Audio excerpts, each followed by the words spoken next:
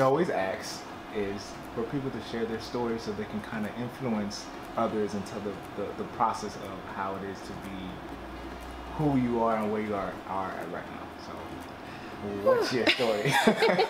That's a big question with It a is. big answer. It is.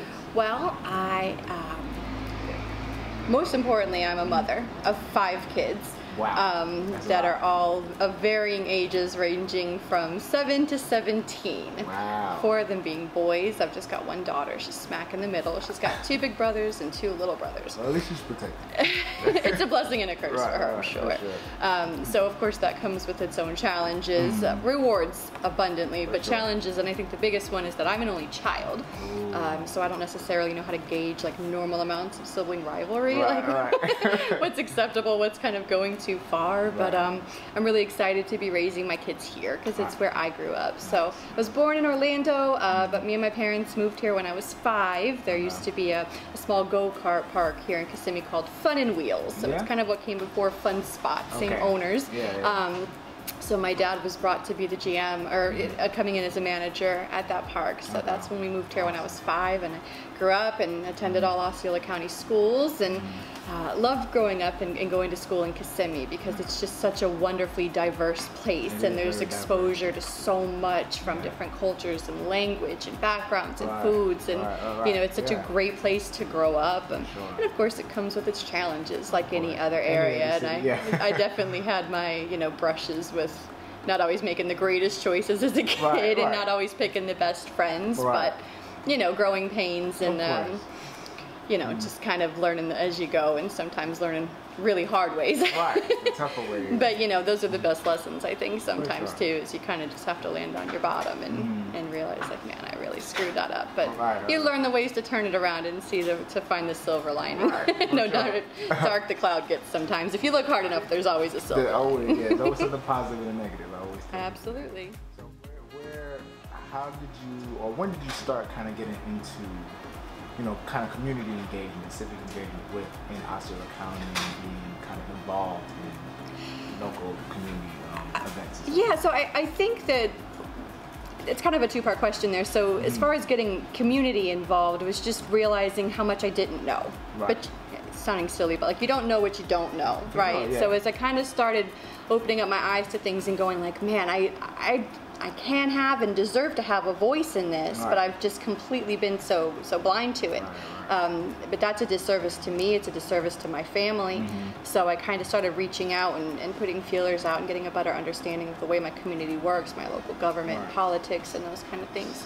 Um, as far as you know, from a from a business perspective, or, or leading people into to Osceola Mom, and, and kind of what that offers is just kind of going back to that saying is, you know, necessity is the mother of all inventions. Mm-hmm. So as a mother of five, um, it certainly is not an affordable thing to entertain such a large family. Sure, and yeah. last summer, I was kind of like, you know, in that frantic like, okay, i these kids are driving me nuts. I need to find something to do, and I'm on Google, like cheap things to do in Osceola Right, County, free things to do in. Kissimmee, St. Cloud, whatever the case may be, and I, I couldn't find any one real just um, one-stop shop essentially for and it kept wanting to take me to the theme parks and, Yeah, and into Orlando, Orlando, right, exactly. yeah. And I'm like, I, I'm not going to take out a second mortgage on my home so I can afford on a, just a Tuesday afternoon to go to SeaWorld for the day or whatever.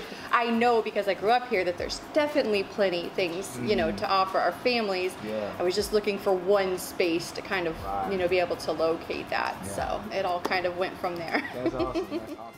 So now, um, tell me more so about your organization that you have called Osceola Moms. Yeah, so Osceola Mom, um, you know, I, I think it's really important with business to kind of start and, and map everything out and have a great plan, but then to be willing to change and adapt as you kind of run into different situations and, Yeah. and circumstances. They go, okay, this is how I thought this might work, but now I'm kind of seeing that Right, that's right, not right. really the best way to do it.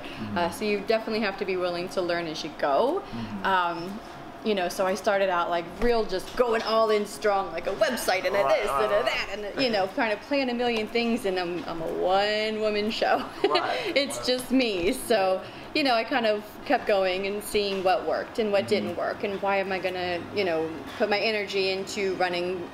You know this aspect of it if it's not really something people are engaging in. Right, so, right.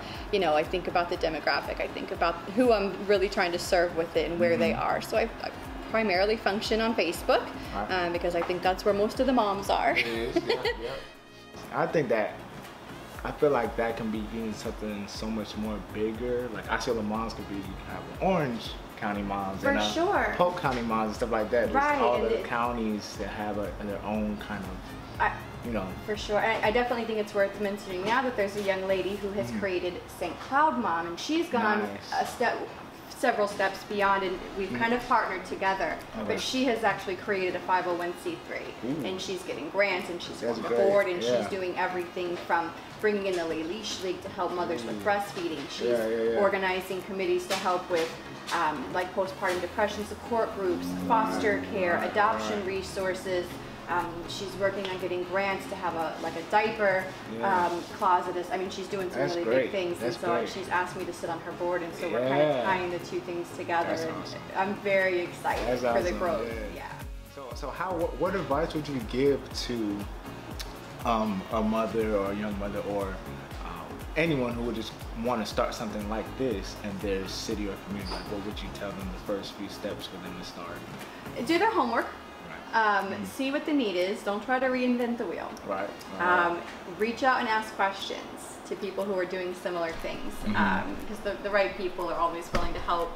Um, Yeah, you know, they're, they're not going to look at you as competition. They're going to look at you as just another person that's trying to serve your community, Right, right, which is right. exactly how it should be. right. Um, you know, and again, just be be flexible and willing to adapt as Mm-hmm. your circumstance and situations change. Like I said, I came into it going, all right, I'm going to do A, B, C, D, E, F, and. G, and completely didn't think about H, I, J, K. And those ended up being the things The that really bigger- needed yeah. my focus the Right, most. right, right, right. so you just have to be willing to, again, to recognize that you don't know what you don't know, and you need to be willing to, to roll with the change. Nice. Right, right. That's and that's awesome though. But I feel like that would definitely be great in all if every county had their own Absolutely. moms or Yeah. That would be great. I think that's awesome. Well, thank you for sharing your story as well. Thank as you for letting me share. How can people, you know, find you on either social media or as a website, or how can they find Osceola Moms?